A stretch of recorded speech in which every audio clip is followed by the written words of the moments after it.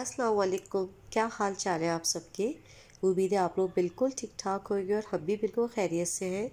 ये है ट्यूसडे और उस दिन हमारे इलाके की लाइट गई थी और काफ़ी देर के लिए गई थी।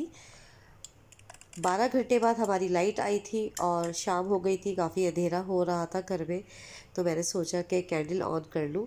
बहुत ही खूबसूरत लग रही थी मुझे भी देख और बस इस तरह से थोड़ी सी रोशनी हो गई थी। घर में और उसके बाद फिर लाइट आ गई थी। ये है नेक्स्ट मॉर्निंग और मैं नाश्ता बना रही थी अपने हस्बैंड के लिए और अपने लिए। मैंने अपने लिए तो बस सादा सा ऑमलेट बना लिया था, थोड़ी सी प्याज और हरी मिर्च डाल के। और मुझे हरी मिर्च और प्याज का ऑमलेट बचपन से ही बहुत पसंद है। और ख़ास तौर से जो रात की रोटी बची हुई होती है, उसके साथ तो मुझे बहुत ज़्यादा पसंद है। और ये हस्बैंड का नाश्ता होता है, बस यही होता है, वो हाफ़ फ्राई अंडा खाते हैं और दो अदर्स वो पीस खा लेते हैं ब्राउन ब्रेड के। बस इनका यही नाश्ता होता है। मैं, मेरा नाश्ता थोड़ा सा चेंज होता है हर दिन। इसलिए कि मुझे नाश्ता चेंज कर कर के करना अच्छा लगता है। वो अपना एक ही नाश्ता करते हैं। बस इस तरह से मेरा नाश्ता भी तैयार हो गया था उनका भी तैयार हो गया था। और मैंने अपना एक मज़ेदार सा ऑमलेट बना लिया था। और हरी मिर्चों का ऑमलेट तो बहुत ही टेस्टी लगता है। इसलिए कि हरी मिर्च का जो टेस्ट होता है, वो अंडे में बहुत अच्छा लगता है। तो मैं हमेशा अपना ऐसे ही ऑमलेट बनाती हूँ। अक्सर ये होता है, अगर कोई रात में खाना भी मुझे कोई पसंद नहीं आता तो मैं अपने लिए यही वाला ऑमलेट बना लेती हूँ कि बहुत सारी हरी मिर्चें काट के डाली, प्याज डाली और बस फ़ौरन से बच जाता है, झटपट से एक आपका खाना तैयार हो जाता है। बस रात की रोटी रखी हुई थी तो मैंने सोचा कि इसको थोड़ा सा ऑयल लगा के तो इसको सॉफ्ट कर लूँ और बड़ी अच्छी हो जाती है और बहुत मज़े की लगती है ऑमलेट के साथ। आप लोग भी कभी ट्राई कीजिएगा इस तरह से। जो रात की रोटी रखी होती है, उसको सुबह इस तरह से नाश्ते में यूटिलाइज़ कर लें और बहुत ताकत होती है, बहुत सेहत होती है रात की रोटी में। बस मैंने टेबल पे नाश्ता लगा दिया था और हस्बैंड ने अपने इस पर डाली थी ब्लैक पेपर और फिर थोड़ी सी उन्होंने कलौजी भी डाल थी, उनको बहुत अच्छी लगती है कलौजी हर चीज़ में। कि इस पर सेहत है। बस फिर आज फिर उसी दिन मेरी नद को आना था। तो फिर मैंने सोचा कि चलो उनके लिए खाना वगैरह बनाया जाए। बस ये फ़िश मैंने फ़िश रख दी थी मसाला लगा के। और तो ये जो फ़िश है, ये है सालन वाली। सालन वाले पीसेस मैंने अलग कर लिए थे और जो फ्राई करने के हैं, वो मैंने अलग फ्रीज़र में रख दिए तो सालन वाले पीसेस थोड़े से मोटे होते हैं, थोड़ा सा दुब के साइड के होते हैं। तो इस तरह से इसका सालन बहुत टेस्टी बनता है। तो मैंने रात में ही मसाला लगा के रख दिया था और मैंने पैकेट का ही मसाला इसमें यूज़ किया है, कोई अपना मसाला नहीं डाला। मगर बहुत मज़े का इसका सालन भी बनता है और हम उसको फ्राई में भी यूज़ करते हैं। बस मैंने तकरीबन दो अदद प्याज लेके और उसका अच्छा सा पेस्ट बना लिया था। और थोड़ा सा अदरक लहसुन का पेस्ट इसमें ऐड किया है। उनको पीस ही लिया, बल्कि पीस लिया लहसुन को साबित सा। और दही। इसलिए मसाला ऑलरेडी फ़िश में लगा हुआ है तो बस फिर मैंने जो है, अब प्याज और लहसुन पीस लिया था। अब हमने पैन पैन में ऑयल डाल दिया है और अब मैं सारा जो मसाला मैंने पीसा है प्याज और लहसुन का, उसका पेस्ट मैंने ऑयल में डाल दिया है। अब मैं उसको काफ़ी देर भूनूँगी ताकि प्याज का और लहसुन का कच्चापन बिल्कुल दूर हो जाए। और इसमें काफ़ी ज़्यादा दही जाएगा, इसलिए कि दही का ही टेस्ट इसमें अच्छा आता है। वैसे जैसे मछली में थोड़ा सा किसी को स्मेल आती है खाने में या किसी को कुछ है, अगर आप दही का इस्तेमाल ज़्यादा करें और अदरक लहसुन का इस्तेमाल ज़्यादा करें तो वो स्मेल नहीं रहती।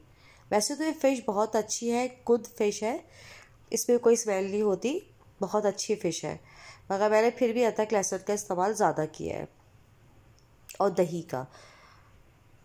अब मैं सारे पीसेस एक एक करके इस पर सेट कर दूँगी। इसलिए कि मछली को ज़्यादा पकाना, हिलाना, जलाना नहीं होता, वरना ये टूट जाती है।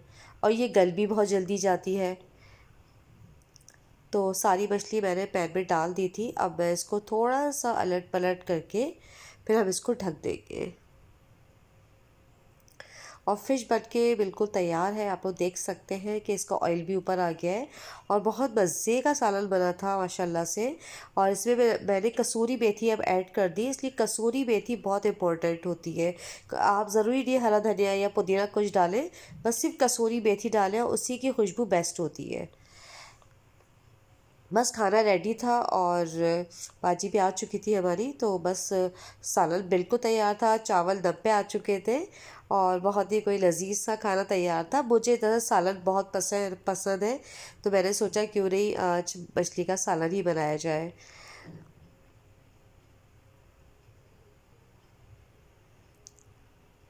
मछली के पीसेस भी बिल्कुल साबित साबित हैं। मैंने इनको बहुत एहतियात से मैंने इनको पकाया है और अब बस मैंने राइस निकाल लिए हैं और फिर हम टेबल पे खाना लगा लेंगे इतनी देर में। और राइस भी बड़े अच्छे खिले खिले बने थे और वैसे भी राइस और फ़िश के सालन का बहुत ही अच्छा कॉम्बिनेशन है।